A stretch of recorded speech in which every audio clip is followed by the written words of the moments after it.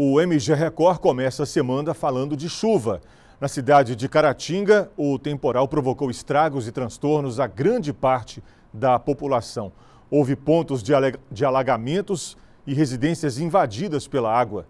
Sobre esse assunto, a gente conversa ao vivo com o repórter Miguel Brás, que também comenta sobre as notícias da chuva em todo o estado de Minas Gerais, em boa parte do estado, pelo menos, né, Miguel? Boa noite para você.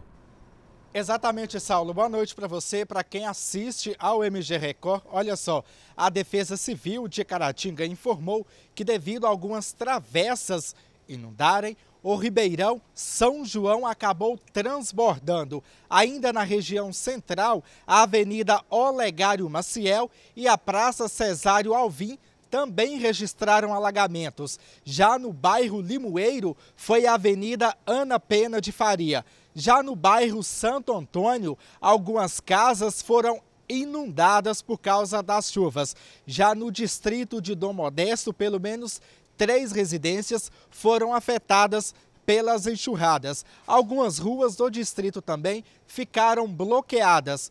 A Defesa Civil informou que algumas secretarias municipais trabalham na limpeza da cidade e também na desobstrução de algumas estradas na zona rural.